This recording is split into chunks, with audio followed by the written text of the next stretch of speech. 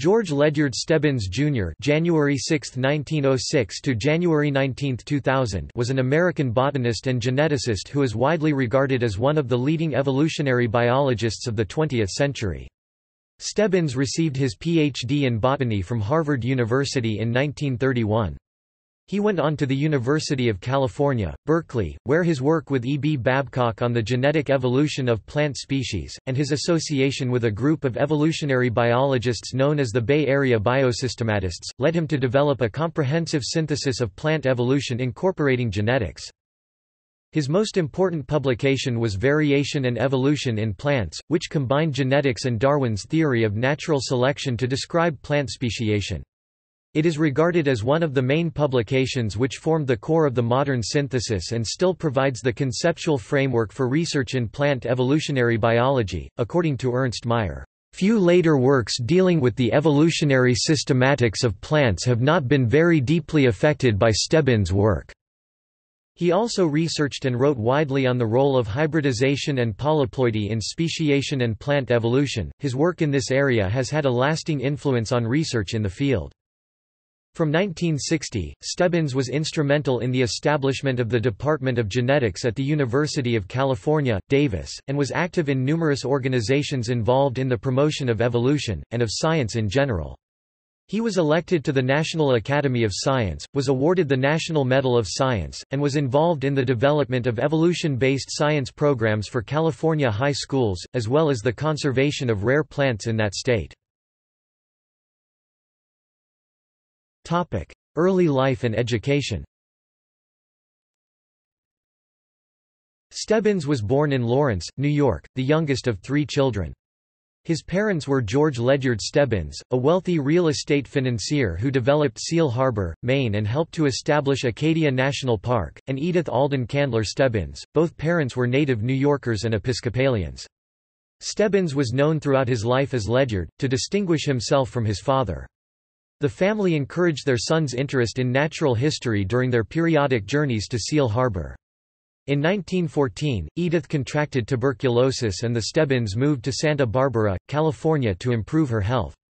In California, Stebbins was enrolled at the Cate School in Carpinteria where he became influenced by Ralph Hoffman, an American natural history instructor and amateur ornithologist and botanist.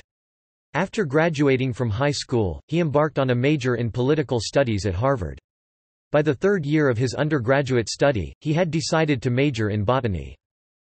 Stebbins started graduate studies at Harvard in 1928, initially working on flowering plant taxonomy and biogeography—particularly that of the flora of New England—with Merritt Lyndon Fernald.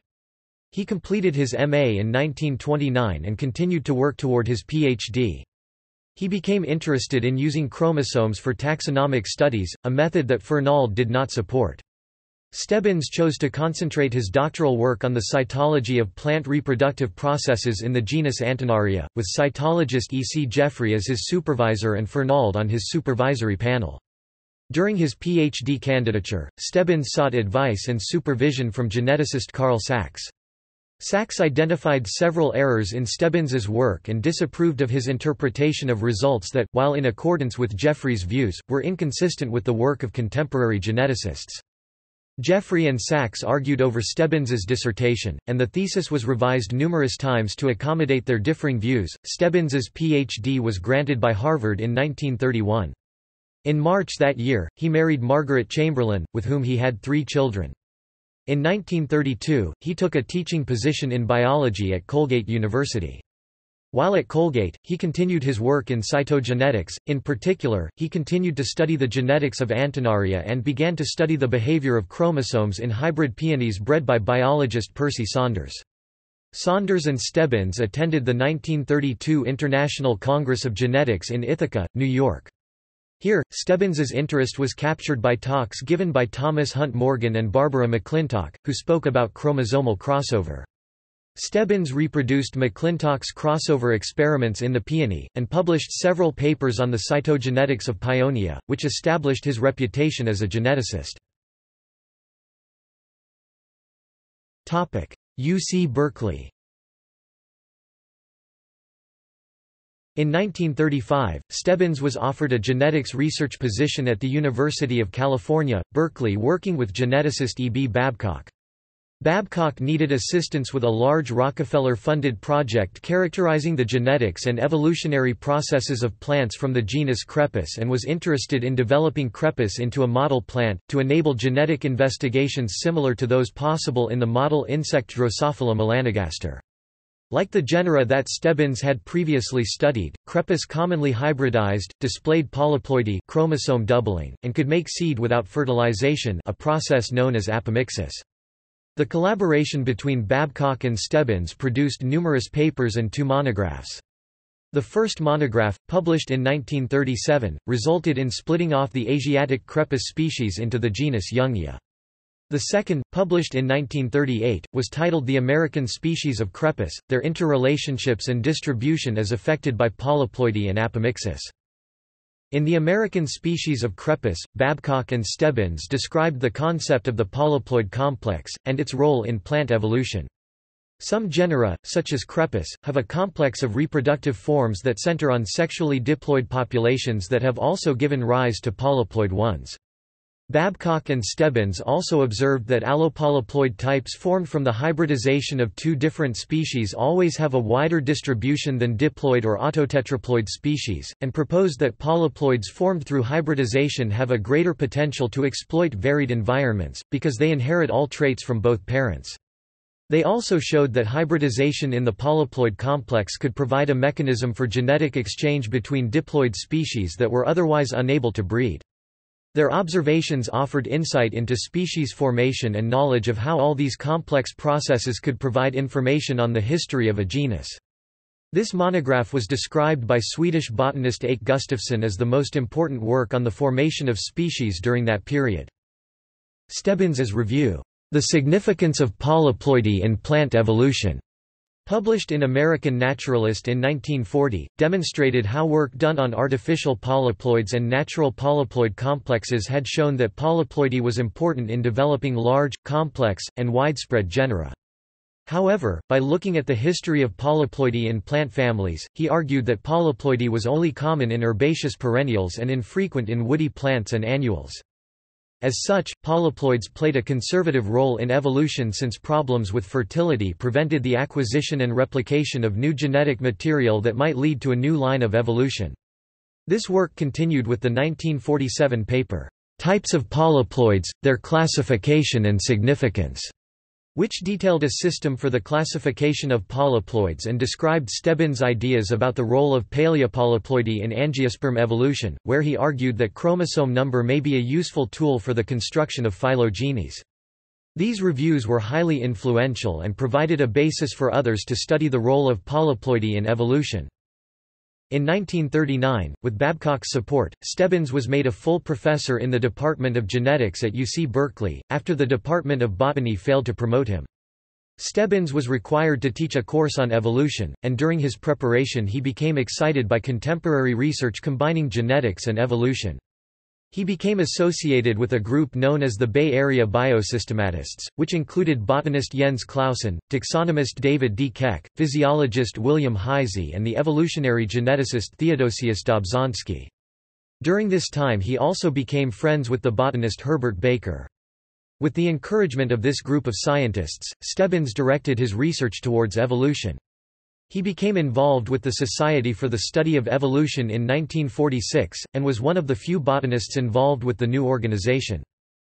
His research on plant evolution also progressed during this period. He worked on the genetics of forage grasses, looking at polyploidy and the evolution of the Poaceae and publishing numerous papers on the subject through the 1940s. He produced an artificial autotetraploid grass from the diploid species Ehrharta erecta through treatment with the chromosome doubling agent colchicine. He was able to establish the plant in the field, and after 39 years of field trials was able to show that the autopolyploid was not as successful as its diploid parent in an unchanging environment. Variation and evolution in plants Columbia University's Jessup Lectures were the starting point for many of the most important works of the modern evolutionary synthesis. The presenters introduced the connection between two important discoveries The units of evolution genes with selection as the primary mechanism of evolution. In 1941, Edgar Anderson whose work on hybridization in the genus Iris had interested Stebbins since they met in 1930 and Ernst Mayr co-presented the lecture series and Mayr later published his lectures as Systematics and the Origin of Species. In 1946, Stebbins was invited on Dobzhansky's recommendation to present the prestigious lectures. Stebbins' lectures drew together the otherwise disparate fields of genetics, ecology, systematics, cytology, and paleontology. In 1950, these lectures were published as Variation and Evolution in Plants, which proved to be one of the most important books in 20th-century botany. The book brought botanical science into the new synthesis of evolutionary theory, and became part of the canon of biological works written between 1936 and 1950 that formed the modern synthesis of evolution. Variation and Evolution in Plants was the first book to provide a wide-ranging explanation of how evolutionary mechanisms operated in plants at the genetic level.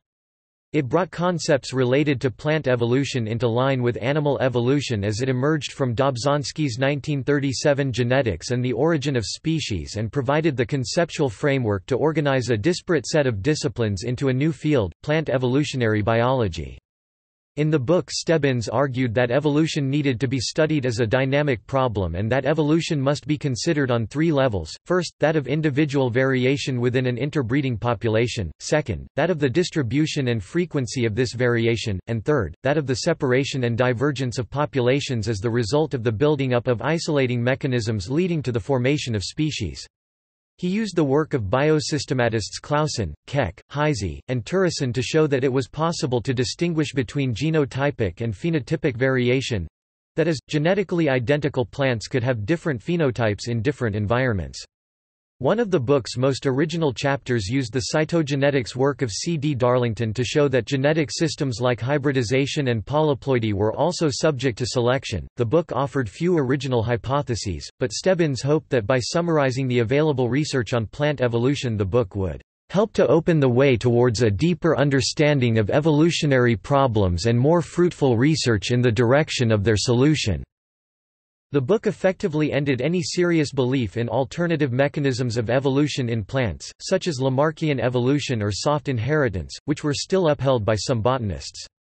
Following that publication, Stebbins was regarded as an expert on modern evolutionary theory and is widely credited with the founding of the science of plant evolutionary biology.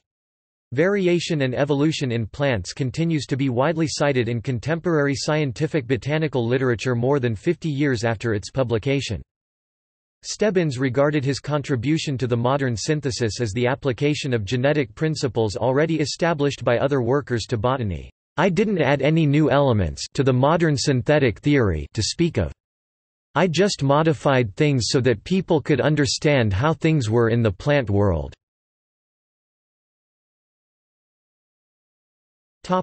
UC Davis and later life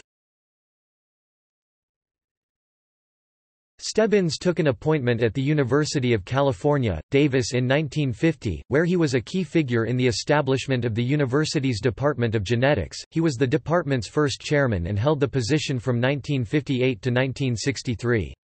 At Davis, the focus of his research changed to incorporate newer areas, such as developmental morphology and genetics in crop plants, including barley. He continued to publish widely and extensively on plant evolution, writing over 200 papers and several books after 1950. Stebbins and Edgar Anderson wrote a paper in 1954 on the importance of hybridization in adapting to new environments. They proposed novel adaptations would facilitate the invasion of habitats not utilized previously by either parent and that novel adaptations may facilitate the formation of stabilized hybrid species. Following this paper, Stebbins developed the first model of adaptive radiation. He proposed that a high degree of genetic variability was necessary for major evolutionary advances, that because of slow mutation rates, genetic recombination was the most likely source of this variation, and that variation could be maximized though hybridization.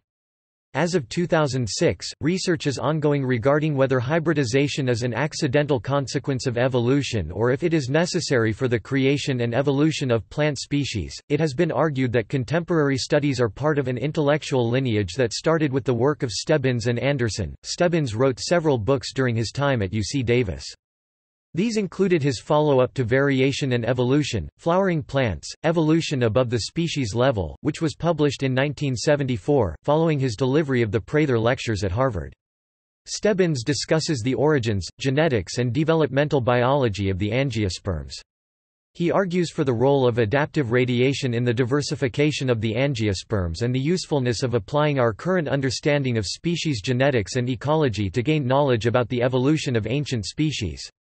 He also wrote Processes of Organic Evolution, The Basis of Progressive Evolution, Chromosomal Evolution in Plants and the textbook Evolution with co-authors Dobzhansky, Francisco Ayala and James W. Valentine.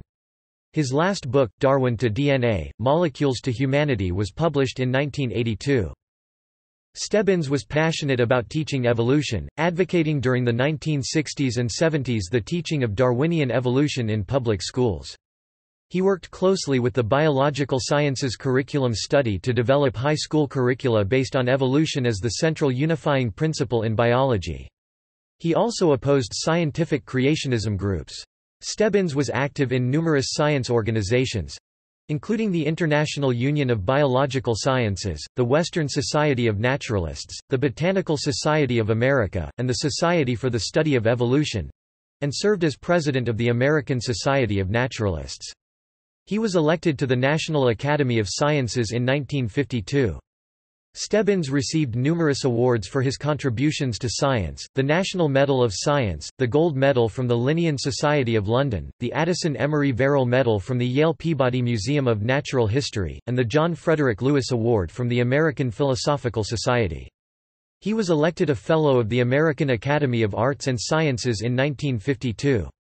He was awarded the 1983 Leidy Award from the Academy of Natural Sciences of Philadelphia. Stebbins was active in conservation issues in California during his later life. He established a California Native Plant Society branch in Sacramento in the early 1960s. Through the society, he created an active field trip program to increase interest in the native flora of California and to document rare plants. Stebbins was the state president of the society during 1966. The society was instrumental in preventing the destruction of a beach on the Monterey Peninsula that he referred to as Evolution Hill. The area is now known as the SFB.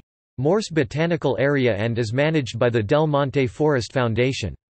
He was a major contributor to the Society's 1996 book California's Wild Gardens, A Living Legacy. Stebbins was instrumental in the establishment of the Inventory of Rare and Endangered Vascular Plants of California by the California Native Plant Society. It is still used by state and federal bodies in the United States for conservation policy making.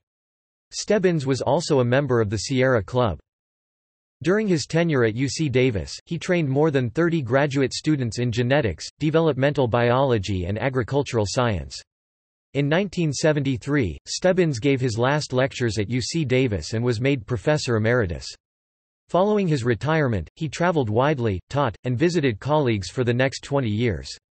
His last paper, A Brief Summary of My Ideas on Evolution, was published in the American Journal of Botany in 1999. The same year he was co-recipient with Ernst Mayr of the Distinguished Service Award from the American Institute of Biological Sciences. A colloquium was held by the National Academies of Science in 2000 to commemorate the 50th anniversary of the publication of Variation and Evolution in Plants. Stebbins died in his home in Davis the same year from a cancer-related illness. Stebbins was honored at a Unitarian memorial service. He had been active in the church in his later years following his 1958 marriage to his second wife, Barbara Monahan Stebbins. His ashes were scattered at Stebbins Cold Canyon Reserve. Topic: Legacy. Stebbins made an enormous contribution to scientific thought and botany by developing an intellectual framework for studying plant evolution including modern concepts of plant species and plant speciation. His contributions to the literature of plant evolutionary biology, in addition to his seven books, include more than 280 journal articles and book chapters, a compilation of which were published in 2004, the Scientific Papers of G. Ledyard Stebbins (1929–2000), ISBN 3-906166-15-5. Betty Smocovitis, a historian of science who is preparing a book-length biography on Stebbins, described Stebbins' scientific contribution as follows In science as in everything, small-scale synthesizers usually get credit from all constituent parties, but truly great synthesizers can fall between the cracks in the cycle of scientific credit. Ledyard Stebbins was in the latter category, neither fish nor fowl, he frequently failed to receive credit for work in some areas, usually at the hands of narrower colleagues. Few, however, have challenged his contributions to plant evolutionary biology, nor questioned his ability to synthesize disparate literature into a coherent framework. His ability to read quickly, recognize novel insights, digest new material, and then integrate the knowledge were the hallmarks of his scientific work style. He was a masterful synthesizer and master of the review essay or synthetic thought piece. In 1980, the University of California, Davis, named a parcel of land near Lake Berryessa, California, the Stebbins Cold Canyon Reserve in recognition of his contributions to conservation and evolutionary science.